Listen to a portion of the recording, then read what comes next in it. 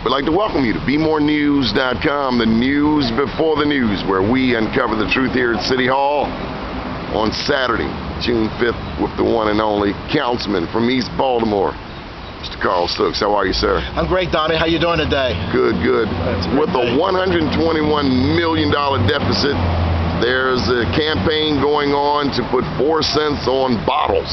Right. Bottles of soda, bottles of beer. Uh, your thoughts? My thoughts is that we can't look at it just as a, as a container tax, but you know we have a 121 million dollar projected deficit going into next year, and uh, so we have to figure out a way to come up with at least 41 million dollars worth of revenue, new revenue, new taxes, new fees, uh, to so that we keep police, we keep fire stations open, we keep rec and parks, meaning the rec centers and the uh, waiting pools and the, uh, the swimming pools open, and that we keep bulk trash going on in the city. So we have cobbled together, uh, the mayor has cobbled together a series of fees, including a big one, the bottle tax. That's like a quarter of it, 25% of it all would be the bottle tax. So if my colleagues and I and the council can figure out something else uh, to make that $41 million disappear, we'll do that. But as far as this councilman is concerned, if we don't find that fee, that a number rather, I will support a bottle tax uh, to make sure that fire, police uh, remain on the jobs, to remain that uh, recreation centers remain open, pools remain open, bulk trash get picked up. Uh, any opposition? Uh, plenty of opposition. Right now, if we were to vote on it today, the uh, the container tax would probably fail, frankly. Um, but then what happens? Then who's going to pay for fire, police, uh, recreation centers? We know fire and police are going to be taken care of because the mayor said that. The mayor also said, though, that she would be supportive of rec centers remaining open uh, if we could find more money. So the bottom line is, is uh, Doni, is that we have to come up with a number of dollars to keep our rec centers open, to keep our pools open, uh, to keep bulk trash being picked up. Um, and so we're going to do that. I'm, I'm actually confident that the council will work this out in the next 10 days, two weeks. You know, I'm going to get a, a tad philosophical here. When I think back to the Maryland General Assembly and I interviewed uh, Delegate Talmadge Branch, he's on House Appropriations, and he said one of the uh, good things that happened in this year's General Assembly is that we didn't lose as much as other jurisdictions. But I'm also reminded that uh, when the new mayor came in, uh, I don't even think she was official yet, but she uh, made her way to see the president, Barack Obama, who Sure. came to Baltimore, and he was just over there, right over Yes, there right. at, at War Memorial Plaza. And, I- and I'm thinking about uh, from the Senate, from the Senate level, uh, the federal Senate, that is, federal level, that uh, people like Barbara Mikulski, uh, who's uh, on the Appropriations Committee, Yeah, she's on the appropriation committee, and I'm, I'm just wondering, from a philosophical standpoint, we can find money for an Iraq war, for other things. Sure. Uh, you think anybody has 121 million so we don't have to go through this type of mental exercise? an hour in Afghanistan or Iraq is 121 million dollars. One hour. Now, I can't tell you that's absolutely the number, Doni, but you know, 121 million to feed a war.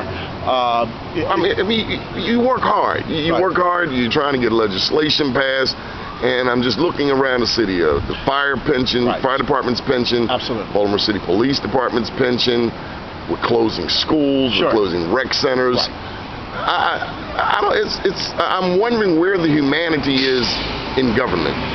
You're right. I mean, there, there shouldn't be a time in city government, particularly in a city like Baltimore, which has done pretty good with its resources. I, I, I got to say that about uh, city government. It has done a pretty good job with the resources it has. And it tries to do so much, whether it's health care, uh, we could do better by uh, supporting HIV and AIDS, of course, in this town, but it has done so well. Uh, school clinics are, are operating in this town.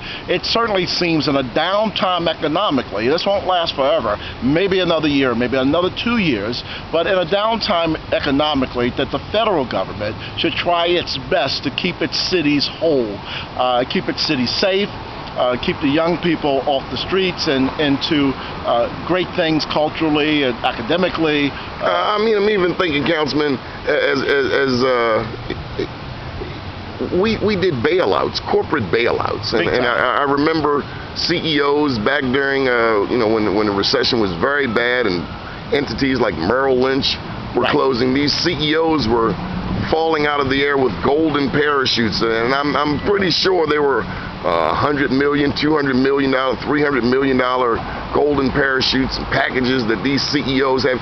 And, and this is a city. Right. You You're know, right. 650,000 people, 121 million bucks, and I I don't have 121 million bucks right now, but But you make a great point, Doni, because when the federal government piled billions, not millions, billions into an AIG, a Goldman Sachs, you know what they did with that money? They stole more money. They took higher golden parachutes. They uh, gathered up at fire sales other entities that were closing. They did not give that money back. They did not stop foreclosing on mortgages to people. They did not bail out the average citizen. They stole more money. And so that money should rightly be going to cities like Baltimore that has a population uh, that is greatly impoverished, uh, that have young people in schools that uh, don't work for a myriad of reasons, and helping to support our cities. But does it send a message to the people when, and I'm not putting East Baltimore in you, but with, with two new prisons slated Yeah. for East Baltimore, East Baltimore, right? but we're closing schools and, and shortening rec hours and you know saying they're, the the swimming pool hours aren't going to be open. I, I don't know. It's just doesn't it? Some, something smells fishy. Well, it is fishy, and, uh, and and good government and good citizenry. Now, remember, there are times when people show up in Annapolis and show up in Washington D.C. by themselves. I'm not putting it all on the citizens, but I, I guess I'm saying together we got to walk. Because you know how often a lone public official can stand up and say, "We've got to do this for schools, and we got to do this for children," and when they look behind them, there's nobody standing with them. I'm, I'm not saying that people have to be there every time, but but the squeaky wheel does get the oil. People like Glenn Middleton of AFSCME are concerned that we're going to lose 600 jobs of, of low-level employees, not middle management, not upper-level management, uh, but low level, not the six to nine levels above low low Right. level. You know, Right. low level. Yeah, and I saw a, a, uh, Baltimore City a people. grid yesterday of city employees in I think DPW where 240 low-level jobs would be lost, 240, and 20 managers' uh, jobs would be lost. It's just an unfair uh, situation, obviously, but more than that, let me just say also, uh, besides the unfair uh, piece of that, uh, on a on a quote good side is that 600 jobs are not going to be lost in the city. Because in the next 10 days the Baltimore City Council is going to pass legislation that will bring in another 40 to 50 million dollars. And I think we're still going to lose about 250 positions but we're not going to lose 600 jobs. I guarantee you that. Of all the few things I can guarantee in politics I can tell you that we will not lose 600 uh, jobs uh, before June 30th Good deal. Thank you for your time, Councilman. thank you sir. The one and only Carl Stokes, representing where's your 12th district 12th sir. district. yes sir Former district for uh, council president. Russell West Good deal. Yes. Keep watching BmoreNews.com, the news before the news, where we uncover the truth.